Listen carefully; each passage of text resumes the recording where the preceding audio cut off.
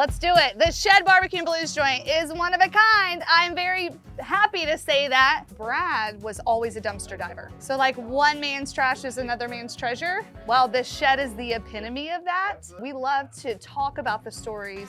We love when shed heads come and they say, hey, I was here. I brought you guys that old organ. Do you still, do you still have it? So that's kind of the concept. Started with Brad's dumpster diving as far as the atmosphere and turned into a whole variety of the world. Bartender by day, How you doing? awesome musician by night, and he's got a lot of good beer. You wanna get a beer? Yeah, let's grab a beer. So this is our stage where we do our bigger bands. So we'll have up to 10 piece brass bands Oh wow. on the stage and we brought artists in from all over the country and they'll come in and, uh, and play music and really it's just about the families being able to hang out, have really good barbecue.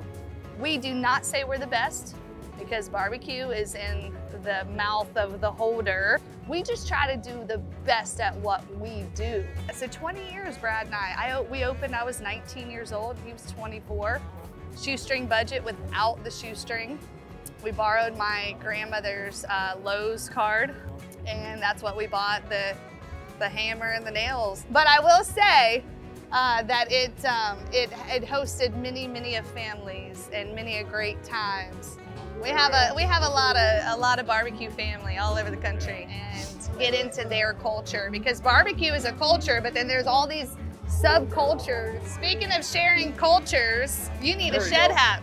Looks good.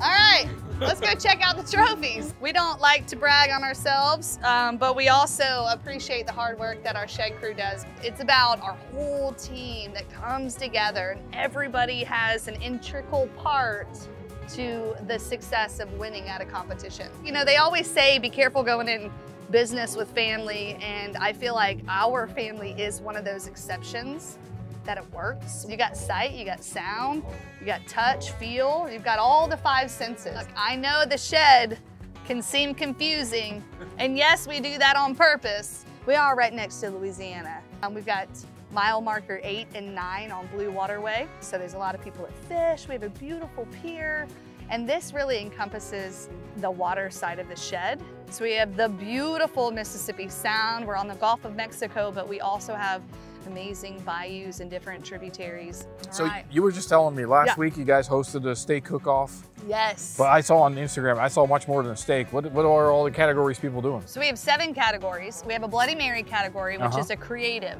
It's about pulling in culinary skills, pulling in creativity, and it has exploded over the years. Get out. But also we have a turkey category. Uh, we have a rib category.